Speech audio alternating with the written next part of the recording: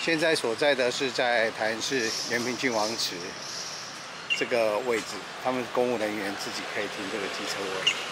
那其他民众呢，来到这边，如果是你要骑摩托车的话，说实在的，是没有地方可以停。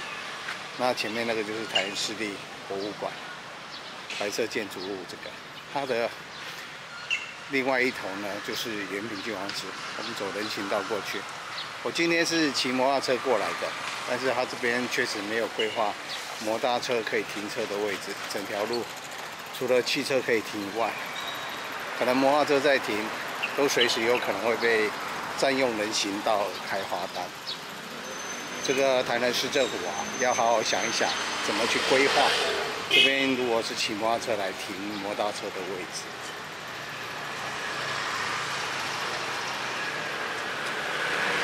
而且很明显的，这边汽车的停车格也是明显的不足。那建议各位，这边有公车站，那你就坐公车来。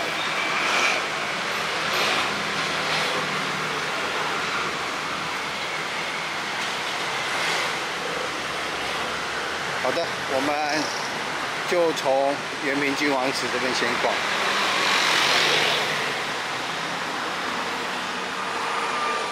我们都晓得郑成功，他对台湾的建设非常非常多的贡献啊。那明朝的官员，好的，已经到延平郡王祠了，有没有？这是正门口，这是正门口，就往这里面走。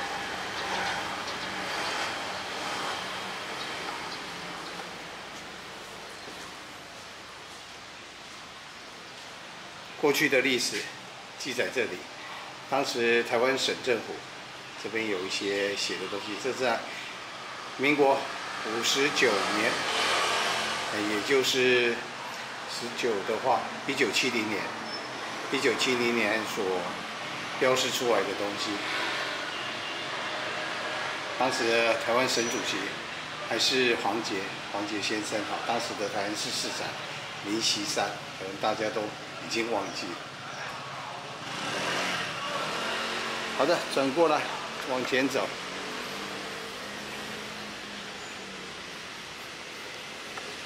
这边一进来会看到一个很明显的这个历史建筑物。那这边有记载的当时整个延明郡王子的一个相关的。那这边是在一九六二年，也就是明朝的永历十六年。那郑成功呢，来到我们那个安平这边啊，驱逐荷兰人整个一个过程哈，历史记载这边，它有标示繁体中文，还有英文外加日语的一个标示。说实在的，因为郑成功的母亲呢，那她本身是日本人，所以说很多日本游客来到延平郡王祠，来到台南都会到延延平郡王祠这边逛逛。正前方呢是台南市立博物馆，我们等一下才会逛那个区块。我们先走过来，这边比较特别的是，你会发觉这边会看到国民党的一个党徽，有看到吧？这是白崇禧，白崇禧当时立的，啊，有看到哈？忠、肝、义、胆，就大概写这样。那前无古人，现在的繁体字啊，以前都是右到左，现在因为配合电脑都变成左到右，所以说看这个的时候，这边前无古人是要从右边看到左手边。这边有看到一个凤子祭典，那很奇怪，这间寺庙呢，这个凤子祭典，这个是清朝的凤下来，但是。因为郑成功是明朝的官员，那为什么清朝还让他有这种那个奉旨啊啊祭典，让他标示出来？是因为后来清朝有了解到那个郑成功确实是那个对台湾贡献非常的大，那同时呢，他并没有并没有认为他是反清复明的一份子，所以说这边就变成一间可以啊祭典的地方。好的，我们就往里面走吧。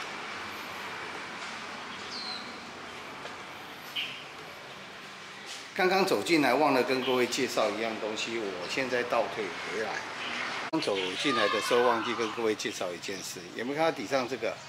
这个呢，这一类型的花岗岩啊，这个门槛这花岗岩，早期呢，台湾都称这个压舱石，因为早期呢，从大陆那边福建一带要到台湾，那他们过来，就是台湾呢这边有一些蔗糖。茶叶、鹿皮要运送到中国大陆，结果船要回来的时候呢，台湾海峡非常的湍急，那这些石头呢，花岗岩就压在这船舱、船的船舱底下，让船更稳固，能渡过为海浪很大的台湾海峡。那当时呢，运到台湾就变成一些建材。台湾老一辈的先民啊，一些著名。就称这些石头叫做压舱石。那你明显可以看到，在台湾很多庙，台中我们台湾很多像鹿港那一带都会看到类似这种花岗石的一个建材。老一辈叫花，不叫花岗石，叫叫做压舱石。这跟各位讲介绍一下。好的，那这边会有一些牌匾哈，可以看一下，都是一些后来的才会有的哈。并不是当时郑成功过来相相对带过来的东西。好的，我们就往右手边这边先走。这里会看到有些将军是跟着郑成功一起来台的。甘辉将军寺，可以看一下这是。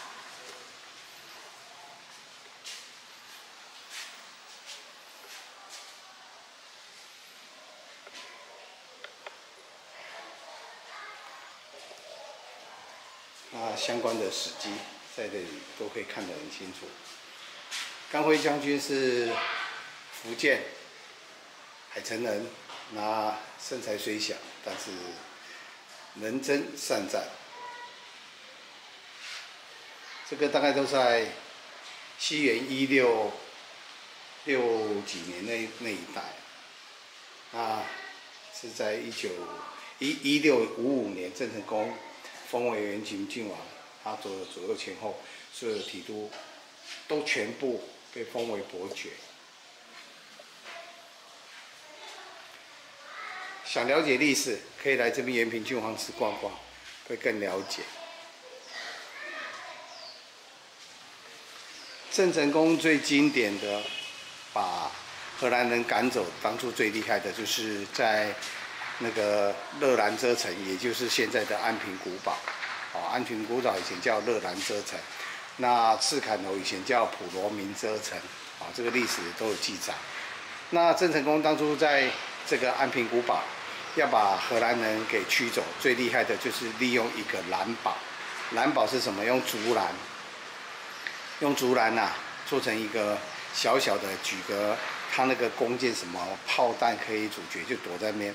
那把安平古堡呢，整个围起来，不让荷兰人有什么有食物，好有食物能进出。但当没有食物的时候，荷兰人自然就会投降。所以说，郑成功最经典的就是利用蓝宝这种东西，一种小小的竹笼啊。那个在安平古堡那边有有相关的。刚刚讲到一半，突然没电了哈，那个。照相机突然没电了，重新放个电池，重新再来。关于那个郑成功他驱赶荷兰人的过程，所谓的蓝堡，在今天的普罗民遮城，就是安平古堡那边，你可以去看看，他那边有做蓝堡一个记载，就在它里面的室内的部分。如果没记错，记错就是进去的左手边，不是建筑物哦，建筑物本身进去的左手边。再走楼梯上去二楼，二楼就是他那个安平古堡阁楼的一楼，左手边进去左手边那里有记载。这边大概就是一些历史哈。好的，我们往前走。那这边有一些牌位哈，就是当时跟郑成功一起过来的一些官员，都他们的牌位名称都写得很清楚，这个我就不做介绍了。大家有兴趣可以过来这边逛逛看看。比较特别的是，郑成功的妈妈金田氏，金田氏呢，在后面有他的牌位。另外这边有三棵梅子树，传说是郑成功亲自所种的，在后头。我们先走这边，这边有些轿子哈，抬轿的以前那个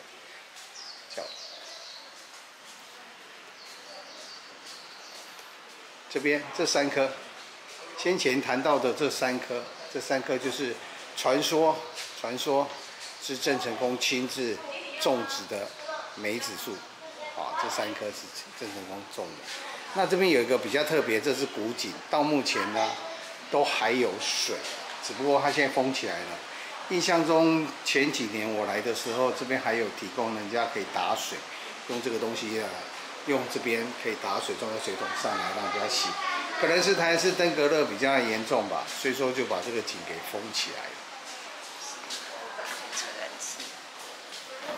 记得那时候来这个井啊。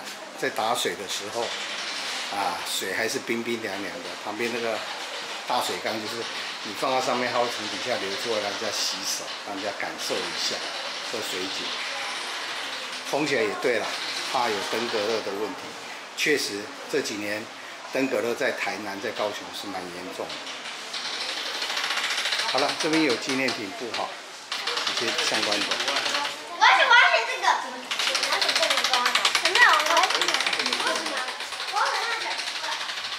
好了，这边就是相关的正中间大堂的部分，这就是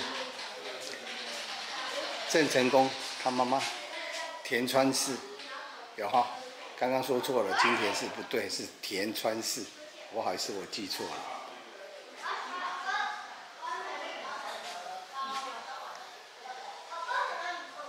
这三棵梅子树哈，中间这棵有比较小。先前被台风吹倒过，那这些梅树呢，本身呢，每年都也会结果，到目前为止。好的，我们就往旁边再逛一下，等会再看正大堂的部分。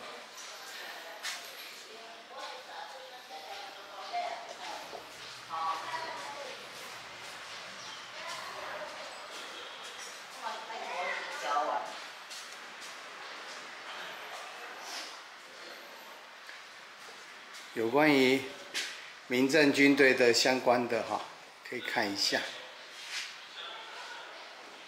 这就是他部队驻守的地方，也就是今天呐，台南市有很多地名都是跟他有关的，像例例如啊，旧营啊、新营啊、大营啊等等的，哦，还有林凤营，哦，这就牵扯到某家牛奶，哦，它的名称就直接用林凤营。整个发展的过程，有看到哈？这个整个郑成功与台湾台湾开发相关的东西，都写的很清楚。那这里有关于郑成功的相传传说啊。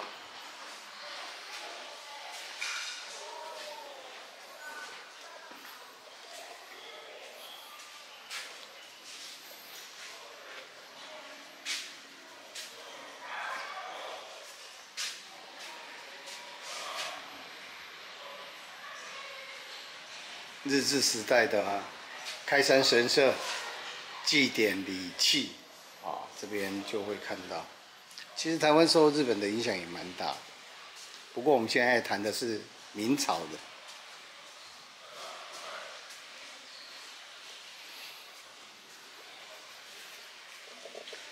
正前方就是万里将军。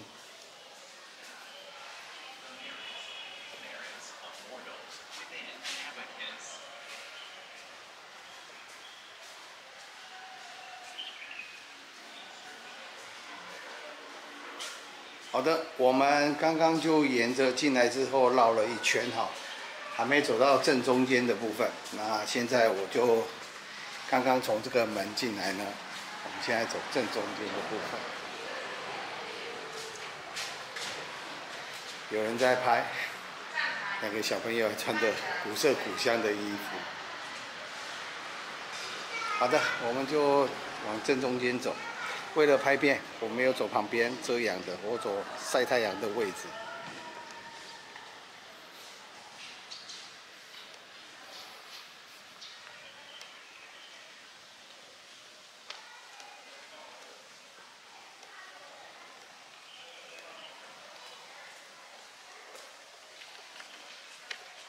这边有蒋中正、蒋介石所提的振兴中国，在一九四零呃一九五零年，一九五零年哈，也就是中华民国三十八年，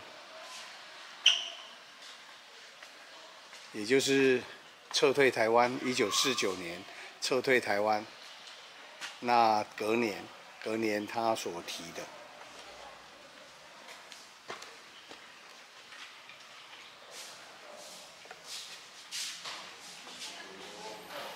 我们不能走正中间，照规矩要走右手边。这边会有延平郡王祠的一个简介，那有英文版、中文版、日语版，还有韩国版，那各取所需，自己拿。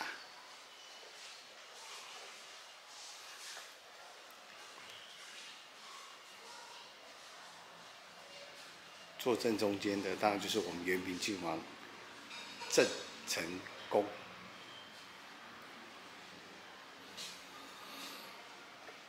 这我们台湾寺庙很特别哈，都会有虎爷。虎爷呢，相传呐，虎爷啊，你要拜糖果，尤其花生糖，他特别喜欢吃。那当然了，你喜欢小赌怡情的，拜拜虎爷会带来好运。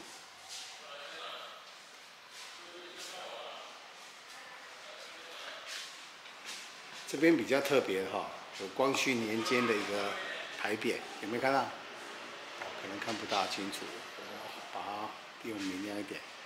你们看？光绪元年正月，这个上面写的，啊有那个我只认识沈葆桢、李鸿年，我也知道，其他的历史可能不是那么熟悉，因为阿周啊书读的不多，最讨厌读书了。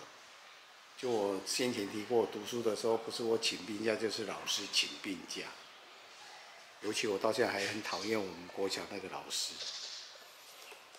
至于那个国小老师是谁，他姓蔡，我一辈子都很讨厌那个老师。那个老师给我的感觉是误人子弟，为什么呢？常常都叫我们课堂自习自习，根本没认真的在教书，这样也当。台南市某间学校的老师姓蔡。